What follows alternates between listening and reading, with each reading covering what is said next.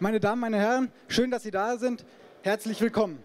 Ja, mein Arbeitsgebiet, wie Simon gerade schon sagte, die Netzintegration. Ich beschäftige mich außerdem eben mit der statischen Spannungshaltung. Blindleistung ist da natürlich auch ein ganz entscheidendes Thema. Wir haben hier in Braunschweig dazu erstmal folgende Lösung. Wir haben bei uns im Keller den Netzintegrator 2000 stehen. Der nimmt uns erstmal eine ganze Menge an Arbeit ab, sodass wir hier nicht unbedingt erstmal so viel machen müssen. Das ist ganz schön, aber hin und wieder gibt es da natürlich auch die eine oder andere Herausforderung, wie neulich zum Beispiel wieder. Da wurde ich in meinem Vormittagsschlaf ganz unsanft geweckt, so ein seltsames Geräusch drang an meine Ohren. Ich äh, hatte das Geräusch dann im Keller irgendwie veranlagt, bin dann runtergegangen in den Keller. Tatsächlich war der Netzintegrator, ich sage zum Netzintegrator, okay Netzintegrator, was ist das Problem? Sie schauen so komisch. Mit Maschinen kann man ja heute mittlerweile reden. Das ist ganz normal, oder? Also, okay, Netzintegrator, was ist das Problem? Sagt er, Netz voll, Kabelfach 2, bitte neue Rolle NAYY, 150 Quadratmillimeter einlegen. Na, das war doch letzte Woche, waren doch erst die 630 kVA-Transformatoren alle. Das wird ja langsam richtig teuer hier. Da müssen wir irgendwie uns mal was anderes einfallen lassen. Da hatte ich einen Geistesblitz. Wie so manchmal kurz nach dem Aufwachen, vielleicht kennen Sie das, da kommen einem so die besten Ideen. Also, mir fiel ein, ich hatte doch neulich auf einer Konferenz Konferenz was zum Thema ja, Blindleistung und Netzintegration gehört. Das war doch vielleicht mal ein Ansatz, den wir hier verfolgen können. Ich also zum Netzintegrator, okay Netzintegrator, versuch's doch mal mit Blindleistung. Sagt der, kann ich nicht. Na, super, tolle Hilfe. Ich habe mir also überlegt, irgendwie musst du dem Netzintegrator doch mal klar machen, wie das mit der Blindleistung und der Netzintegration letztendlich funktioniert. Ich also zurück ins Büro, ne, Literaturrecherche, ganz entscheidender Punkt. Und das Ergebnis, meine Damen, meine Herren, war höchst erstaunlich. Im Internet kursiert scheinbar die Überzeugung, dass Blindleistung mit Bier gleichzusetzen ist. Und ich dachte mal, Alkohol wäre keine Lösung.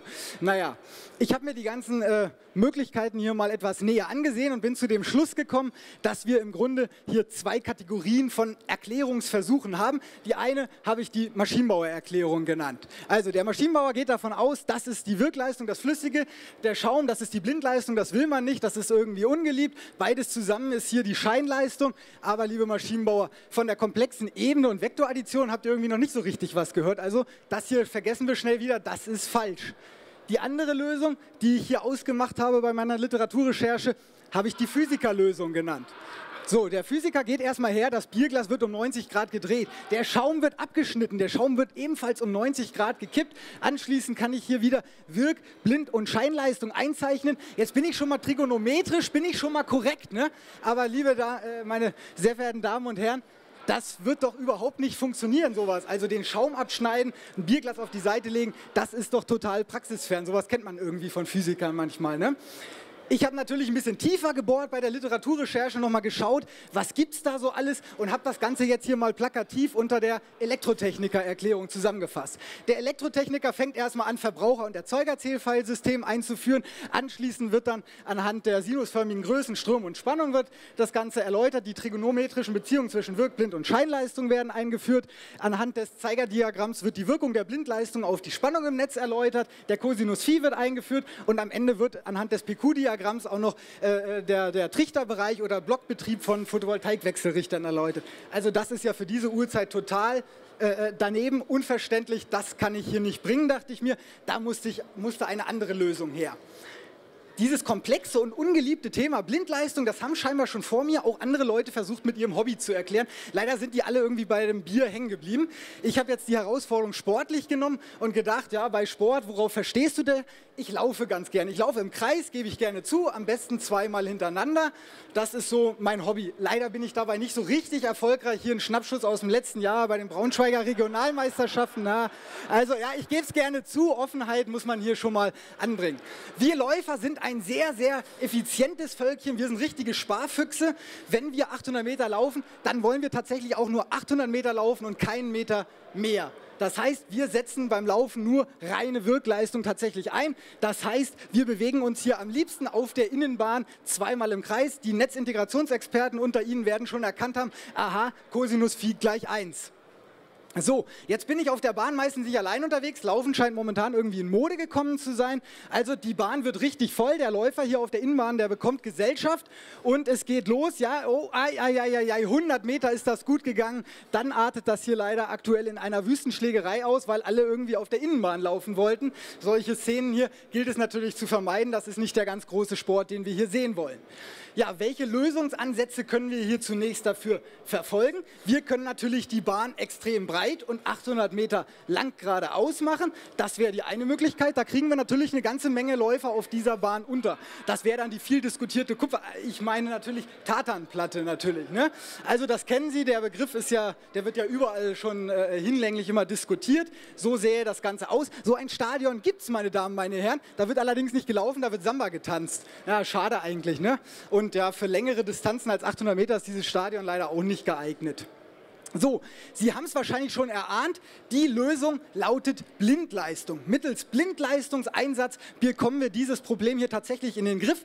Da der grüne Innenbereich in dieser Anlage tatsächlich für die Läufer tabu ist, musste ich hier auf den Betrag der Blindleistung ausweichen. Die Läufer nehmen ihre Startpositionen ein und es geht los. Wir sehen hier schon, irgendwie ist das Ganze momentan noch ziemlich ungerecht verteilt. Der gelbe Läufer hat hier einen extremen Wettbewerbsvorteil gegenüber den Läufern, die hier weiter außen laufen. Die Netzintegration Integrationsexperten unter Ihnen haben es wahrscheinlich schon erkannt. Aha, der Kerl meint hier den konstanten Cosinus Phi oder sogar, wenn wir davon ausgehen, dass die Läufer hier alle mit Nennleistung unterwegs sind, den Cosinus Phi, die Cosinus Phi von P-Steuerung. Das ist richtig, aber die richtige Lösung oder die, die Lösung des Problems, so sieht es ja in der Praxis nicht aus. Wie sieht es in der Praxis aus? Der Läufer hat hier natürlich die Lösung des Problems parat der Start erfolgt und die Blindleistung wird nur bedarfsgerecht tatsächlich eingesetzt, wenn es hier notwendig ist tatsächlich. Meine Damen, meine Herren, das ist tatsächlich regelungstechnisches Fachwissen, was hier jeder Läufer an den Tag legen muss, um hier so agieren zu können. So, der graue Läufer hat den Start hier leider extrem verpennt, hat aber eigentlich großes Potenzial, dieses Rennen zu gewinnen. Jetzt entscheidet er sich, gedanklich macht er einen Sprung, er entscheidet sich, ich gehe außen vorbei. Und was Sie jetzt sehen, meine Damen, meine Herren, beziehungsweise ja, das ist die Situation erstmal, die sich diesem Läufer stellt. Für, für Läufer natürlich total verhasst, dieser Anblick. So ist es eigentlich schon viel, viel besser so will er es haben. Und also, das, was Sie jetzt sehen, ist die Sprungantwort auf seinen gedanklichen Sprung. Ich muss außen vorbeigehen. Mittels Blindleistungseinsatz schafft er es hier auf der Außenbahn, die anderen Läufer zu überholen und sich an die Spitze zu setzen. Das, meine Damen, meine Herren, ist die Blindleistungsregelung, zum Beispiel die Q von U-Regelung. Ja, damit schaffen wir Läufer es, das System optimal auszunutzen und eine ganze Menge hier in dieses System zu integrieren. Ja, das auch eben sehr effizient. Wir haben diesen Ansatz natürlich auf unsere Simulation in der Forschung übertragen und sind zu dem Schluss gekommen, dass wir damit die Aufnahmefähigkeit des Systems, also mittels einer Blindleistungsbereitstellung hier um 50 bis 100 Prozent tatsächlich steigern können. Ja, wir sind noch nicht am Ende. Ich bin Ihnen ja auch noch einiges schuldig. Es gibt ja auch noch eine ganze Menge ja, komplizierter Begrifflichkeiten rund um die Blindleistung. Vielleicht geht es Ihnen da manchmal auch so wie mir. Sie, Sie, sitzen am Schreibtisch, es geht um das Thema Blindleistung und Sie grübeln hin und her. Ist das jetzt eigentlich untererregt oder übererregt? Ist das jetzt kapazitiv oder ist das jetzt induktiv? Ist der Strom jetzt voreilend oder nacheilend? Was ist jetzt hier eigentlich gemeint? Blindleistung einspeisen oder aufnehmen? Oder generell erstmal, ist es jetzt das Erzeuger- oder Verbraucherzählfallsystem? Also Fragen über Fragen, die Situation Situation wird immer verworrener, verworrener. Ne, da kann man sich manchmal aus Versehen auch irgendwie schon mal in der Disziplin ver, vertun. So kann das dann im schlimmsten Fall auch mal aussehen. Ja, was wir jetzt auf jeden Fall noch brauchen, ist die Wirkung der Blindleistung auf die Spannung. Dazu ist es notwendig, das System um die Laufbahn drumherum mit einzubeziehen. Spüren Sie alle schon die Spannung? Nein? Nein? Ich auch nicht. Naja, also jetzt, unser Messinstrument be äh, belegt das Ganze hier. Spannung ist momentan noch nicht vorhanden. Jetzt haben wir hier auf jeden Fall Spannung. Meine Damen, meine Herren, mir wurden freundlicherweise Aufnahmen von der Einspruchsberatung des FNN zu den technischen Anwendungsregeln im Olympiastadion zugespielt. Wir sind mittlerweile hier bei Nennspannungsniveau angekommen. Die Laola-Welle im Stadion die kreist hier tatsächlich. Sie sehen das Ganze hier unten auch nochmal über X aufgetragen. Motivierte Zuschauer und äh, Fans im Stadion schaffen das in der Regel mit 50 Hertz. Meine Damen, meine Herren, ich bin gespannt, ob wir das hier heute Abend auch hinbekommen. Wir starten hier einmal. Oh, oh, oh, oh, oh, oh, ja, ich ich merke noch, wir haben massiv Unterfrequenz. Wir sind noch kurz vorm Schwarzfallen. Wir brauchen hier gerade erstmal Primärregelleistung. Mehr Bier bitte da hinten. So, wir müssen aber hier weiter voranschreiten, denn wir müssen aufpassen. Die Spannungshaltung ist ein ganz komplexes Themengebiet. Wir müssen nämlich aufpassen, dass die Spannung nicht zu hoch äh, wird im Netz. Das kann Schaden an Infrastruktur und natürlich auch Personenschäden nach sich ziehen. Sie haben es vielleicht hier gesehen. Ich gehe noch mal ganz kurz zurück. Eine ganz kurze Überspannung, wie Sie es hier gesehen haben, hat hier tatsächlich das System, den Systembetrieb beeinträchtigt. In diesem Stadion auch Überspannung war hier das Problem. Oder hier, oh, oh, der gute Marmor, sehen Sie, ist alles hier Überspannungsproblematik gewesen. Auch dieses Stadion meiner Meinung nach total abrissreif. Also da ist nicht mehr viel zu retten. So, ich, ja, gehe jetzt weiter, meine Damen, meine Herren, wenn Sie die nächsten zwei Minuten überleben sollten. Ich glaube, das Thema kapazitiv, induktiv, untererregt, übererregt, Sie machen es nie wieder falsch. Dieser Typ hier, meine Damen, meine Herren, der ist übererregt. Der ist geladen wie ein Kondensator. Der steht unter Spannung. Noch bevor der Startschuss fällt, hat er sein Trikot zerrissen. Allein durch seine Anwesenheit im Stadion schafft er es, das Spannungsniveau hier merklich anzuheben. Hätte er nicht schon so wenig Haare, sie stünden ihm wahrscheinlich die ganze Zeit so zu Berge.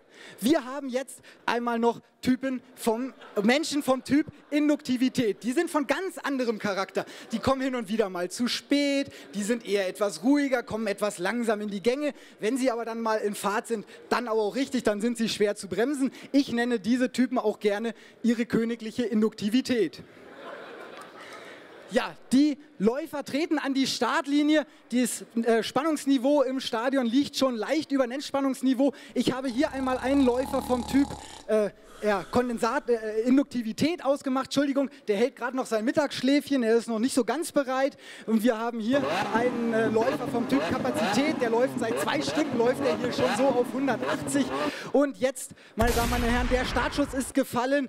Die Läufer sind gestartet und wir sehen hier, der Läufer vom Typ Kapazität, der eilt der Spannung im Stadion voraus, während der Läufer vom Typ Induktivität hier nicht so richtig in die Pötte kommen will. Ne? So sieht das aus. Ich habe das Ganze für Sie nochmal versucht, einmal zu animieren. Unsere Laola-Welle, die Spannung im Netz, hier also mit 50 Hertz unterwegs. Die Läufer gehen an die Startlinie, der Startschuss fällt und wir sehen hier, der Läufer vom Typ ähm, Kapazität, der eilt der Spannung hier voraus, während der Läufer vom Typ Induktivität der Spannung nacheilt. Eine, zwei, drei letzten Folien seien mir vielleicht noch gestattet. Wir brauchen ja noch die Wirkung der Blindleistung auf die Spannung. Soll der junge Mann hier in seiner induktiven... Danke, danke. Gut. Okay. Also, wie Sie sehen, der Läufer vom Typ Kapazität, der hat eine spannungsanhebende Wirkung hier im Stadion zur Folge. Die Leute sind gespannt. Das Rennen wird richtig spannend. Der Atem wird angehalten bei den Zuschauern. Was passiert als nächstes? Kann er das Rennen jetzt hier entscheiden? Ganz anders das Verhalten im Stadion, wenn wir hier einen Läufer vom Typ Induktivität haben. Die Spannung sinkt und ja, das Rennen ist im Grunde schon gelaufen. Das wissen die Zuschauer. Daher also diese Spannungsabsenkung hier. So, ich bin der Meinung, jede Präsentation braucht einen Ausblick. Das ist mein Ausblick an dieser Stelle für Sie und ich hoffe, dass Sie in Zukunft auf die Frage Blindleistung antworten können, läuft. Und ja, ich hoffe, Ihnen geht es nicht so wie dem armen Tropf, der gestern meine Generalprobe hier miterleben musste. Und äh, ja, die Medaille haben Sie sich fürs Zuhören und für die äh, ermöglichten zusätzlichen zwei Minuten auf jeden Fall verdient. Besten Dank.